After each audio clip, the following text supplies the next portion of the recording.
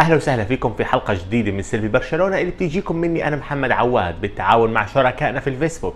برشا برشا برشلونة نيوز وإبداع الملاعب وشركنا الحصري في إنستغرام برشا جروب حلقة اليوم بعد فوز برشلونة على إسبانيول الفوز اللي صار معتاد رغم إنه يسمى ديربي لكن بالسنوات الأخيرة أصبحنا متعودين إنه برشلونة يفوز ممكن مفاجأة أو مفاجأتين انتهوا بالتعادل. هذا الفوز كان متوقع وتحقق. الشيء المهم بهذا الفوز إنه ريال مدريد ما هزم ليفانتي وتعثر بملعبه بشكل مفاجئ وبالتالي الثلاث نقاط فعليا صاروا خمسة اليوم. هذا الفوز اعطى برشلونه الدافع كبير. اعطى فالفيردي ثقة. هدأ الأمور بعد السوبر السيء بعد الصيف السيء اللي كان عايشه برشلونة. الأمور بدأت تهدى بدأت تركز كرة قدم بدأ الأمل يرجع.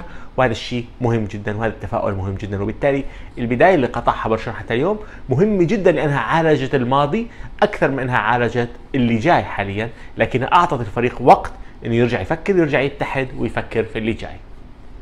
بداية اللقاء كانت بخطة متوقعة وبتشكيلة متوقعة.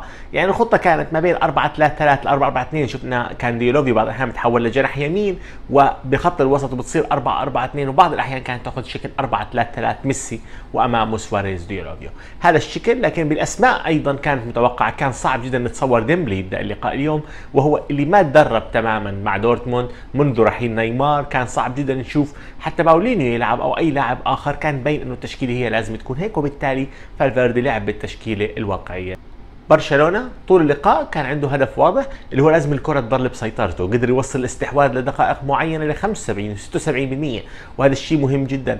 برشلونة كان عم بيحاول يتناقل الكرة بشكل صح ممكن أبطأ شوي من المطلوب لكنه كان هذا الأساس. الأساس انها تضلها الكرة معه لأنه طول ما هي الكرة معه الفريق عم بيحاول ياخذ شكل جديد دور جديد لميسي دور جديد لسواريز. وبالتالي مهم جدا تضلها الكرة معك مشان ما تكون مهدد إنها تنقطع منك وبالتالي كانت المخاطرة في التمرير أقل. وهذا الشيء اللي عكسه. نسبة الاستحواذ وعكسته أيضا إنه المرتدات لاسبانيول كانت قليلة يعني هجمات إسبانيول اللي إجت تماما جاءت من كرات. استلمها اسبانيول طلع فيه صعد فيها صعود طبيعي. من الأمور اللي شفناها أيضا اليوم الصعود بالكرة عند برشلونة ما زال في مشكلة معينة ما زال الفريق لما يضغط عليه عم بتحس إنه اللاعبين إما بيرتبكوا أو ما بيعرفوا شو يعملوا. وهذا الشيء الموسم الماضي كان يظهر ببعض المباريات اللي يفوز فيها برشلونة. ولكن خارج ملعبه لما ظهرت ظهرت معها أهداف زي مباريات سيلتا فيجو وأي مباريات أخرى برشلونة خسر فيها نقاط الآن واضح انه الفريق هذه المرة أحسن من الموسم الماضي إنه بأنه عم بيتمركز صح لما يحاول يصعد بالكرة. عم نشوف الأظهرة بتوقف صح لاعبين الوسط بيرجعوا لكن لاعب أو لاعبين بيترددوا ممكن شتيجن بوقف على الكرة أكثر من اللازم أم تيتي بوقف على الكرة أكثر من اللازم. هذه الوقفة لحظة لحظتين بتخربط كل الأمور وبتساعد الخصم إنه يصعد ويقدر يسكر المنافذ حتى للاعب اللي بيحاول يرجع من خط الوسط.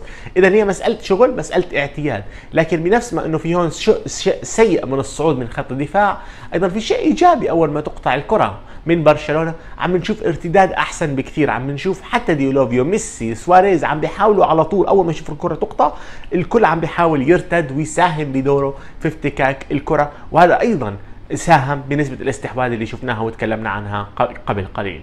ومن الأشياء اللي لازم نحكي عنها بلقاء اليوم إيفان راكيتيتش اللاعب اللي استعاد كثير من لياقته استعاد كثير من رغبته بهذا الموسم عم بنطلق بالكرة أكثر واضح إنه تحرر أكثر من الموسم الماضي ما عاد مجرد لاعب ينقل كره لا لاعب عم بيصعد بالكرة عم بيركض بالكرة دوره الدفاعي عم بتحسن وبالتالي هذا من العلامات الإيجابية ببدايه هذا الموسم. الحفاظ على راكي حيكون كأنه ربع صفقة زيادة. خلينا نحكي لو كان راكي 6 من 10 السنة الماضية ويصير 8 من 10 السنة هاي كأنه إضافة أو نقله للفريق بهذا الموسم. وأي شيء يتحسن على الموسم الماضي حيكون كويس للفريق سواء جوميز سواريز كل هدول اللاعبين أي واحد منهم ممكن يتحسن. طبعا أقصد دينيس سواريز. أي واحد منهم ممكن يتحسن هذا الشيء كويس والشيء بيساعد الفريق إنه يمشي الموسم حيكون طويل جدا. وزي ما تكلم عن راكي طبعا بالنسبة لديمبلي ما في داعي نتكلم. نزل مباراة محسومة كان ميسي خلصها. ليونيل ميسي اللي أكيد حنتكلم عنه بنهاية الحلقة كان انهى الأمور. وبالتالي ما بحبش أحكم على اللاعب من أول مباراة أو ثاني مباراة. الأكيد إنه ديمبلي عنده جودة الأكيد إنه ممكن ينقل الفريق نقله كبيره الآن من الأسئلة المهمة للفريق شو لازم يعمل برشلونة؟ سواريز يلعب بالشكل اللي شفناه اليوم وميسي يلعب بالشكل المهاجم الوهمي بدور معين وبعدين بتحول لرقم 10 بالبداية وبالتالي أو إنه يرجع يلعب لما يرجع ديمبلي وينسجم ديمبلي يلعب يسار ميسي يلعب صانع ألعاب وبروح على اليمين شوي وبكون سواريز مهاجم. هذا السؤال اللي برشلونة الآن أنا أعتقد فيه. مين أكثر فائدة؟ تخسر سواريز زي اليوم لأنه مسألة سواريز على اليسار قتلت اتجاه اليسار تماما لأنه هو تماما نسي اللعب كجناح. صح لعب جناح في الماضي لكن ما عنده القدرة الآن زي قبل ثلاث سنوات. نتكلم عن لاعب دخل بالثلاثينات وبالتالي هذه مسألة. هل هي هذه أفضل؟ أم الدور الحالي الشكل الحالي أفضل أم يروح ديمبلي يسار هذا من المسائل اللي أعتقد حيضل يتفكر فيها. أعتقد برشلونة أحسن شيء يوصل له يلعب بهذا الشكل بكل المباريات السهله لأنه صعب ميسي يتراقب لكن المباريات الصعبة الفريق محتاج مهاجم بمنطقة الجزاء مهاجم يخطف الكرات لأنه ميسي ما حيكون بأريحية اليوم ما حيكون دائما قادم من الخلف وما حدا مراقبه. ممكن بعدين الفرق هاي بتستعد أحسن من إسبانيول وبالتالي ممكن الفريق لازم يتعود على الشكلين ديمبلي يسار ديمبلي يمين لأنه بيقدر يلعب على الجهتين. وميسي خلف المهاجم بس مرة بيكون المساحة أمامه مفتوحة فبيقدر يدخل يسجل. ومرة بتكون الأمام لويس سواريز يبحث عنه. وأيضا بيقدر بالتأكيد يسجل دائما لأنه ميسي بكل الأحوال بيسجل. ليونيل ميسي اللي هو أخذ على عاتقه انطلاقة هذا الموسم. والمرة الماضية والأولى والثانية والثالثة هو ليونيل ميسي. يعني خلينا نحكي ليونيل ميسي عم بيشيل برشلونة حتى يرجع برشلونة. باختصار إيه مباراة اليوم بغض النظر انه الهدف الأول تسلل لكن حسمه في الموضوع واضح. رغبته في اللعب واضحة. وهذا الشيء يعني بغض النظر وقع توقيع وقع عقده ولا ما وقع عقده مش مهم. لأنه المهم جدا إنه مش حابب يتكرر موسم السنة الماضية. وما دام ميسي بده هيك ميسي حياخذ الفريق لأبعد ما يمكن. يعني ميسي ممكن يجيب لك ال 85% من المطلوب منك. لو إنه ميسي كمل من دون إصابات بهذا المستوى بضل الفريق يكمل. وأي مدرب بيكون سعيد لما ميسي يكون سعيد. هذه البداية ميسي شال فيها الفريق بس ميسي أكيد حيجي وقت مباراة أو مباراتين ما يكون فيهم بيوم وهذا الشيء الطبيعي.